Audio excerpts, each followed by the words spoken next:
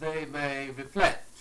Allah said about the Jews and their knowledge of the truth, the likeness of those who were entrusted with the Torah but who subsequently failed in those obligation, obligations is as the likeness of a donkey who carries huge burdens of books but understands nothing from them.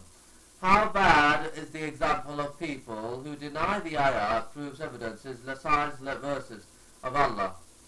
They knew the truth from the Torah, yet they were not guided by it. They distorted its words, and if that failed to work, they distorted the meanings of the words. How could people who treated knowledge in this despicable manner ever have found happiness? It was certainly not possible in their case, for they always tried to eradicate the truth using any means at their disposal.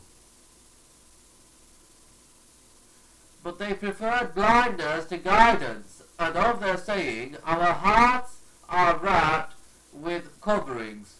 We do not understand what the messengers say. Nay, Allah has set a seal upon their hearts because of their disbelief, so they believe not but a little. There are thousands, perhaps millions of books in the Library of Congress in Washington.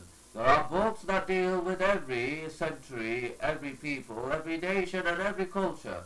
Yet who owns this venerable library? A nation that disbelieves in its Lord. A nation whose knowledge passes not the bounds of the tangible, material world, as for what is beyond the material world, they hear not, see not, feel not, nor do they understand. And we had assigned them the faculties of hearing, seeing, and hearing, seeing, and hearts, but their hearing, seeing, and seeing, and their hearts avail them nothing. The likeness between the truth and the disbeliever's aversion to it, it is as follows. The water is pure and sweet, however, the person drinking it feels a bitter taste. How many clear ayat, proofs, evidences, verses, lessons, signs, revelations we gave them, and never an ayat sign comes to them from the ayat proofs, evidences of their Lord, but that they have been turning away from it. Read more, but, with understanding and contemplation, to be blessed with a large store of knowledge, knowledge, and mind that contemplates a good understanding, and an intellect that delves beneath the surface for reasons and motives. These are all factors that contribute to giving one peace of mind. It is only those who have knowledge among his among his slaves that fear Allah Nay, they deny that the knowledge whereof they could not compass. A scholar usually has an open mind and is at peace. A thinker from the West said, I keep a large file in the drawer of my desk, and on it is written foolish things I have done.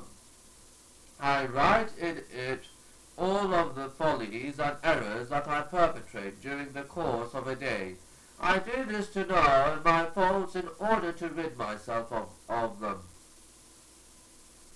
The earlier Muslim scholars preceded him in the endeavor they would meticulously take an account of their deeds, and I swear by the self-reproaching person, a believer, the Muslim takes account of himself with more rigor than does a businessman with his partner.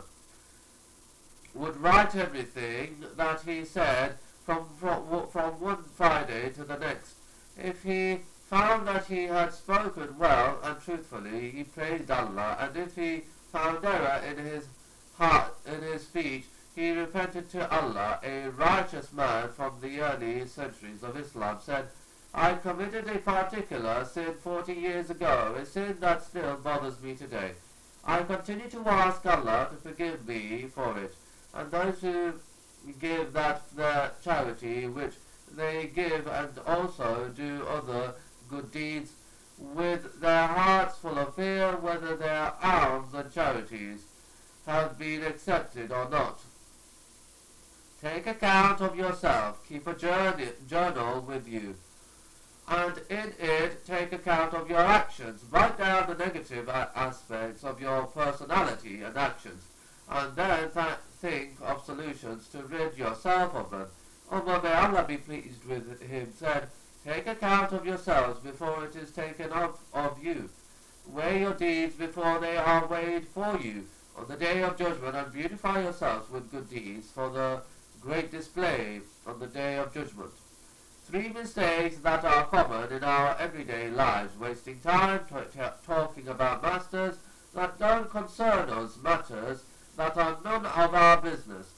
From the goodness of one's Islam is leaving alone that which does not concern him, being preoccupied with trivial issues, listening to rumors.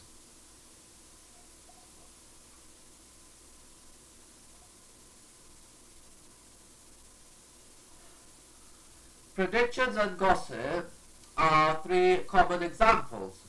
Having these characteristics results in paranoia, anxiety and a lack of purpose in life. So Allah gave them the reward of this world and the excellent reward of the hereafter. My guidance shall neither go astray nor fall into distress and misery. Your affairs and take proper precautions. When a Muslim sets out to do something, he must do the following. He must plan with caution.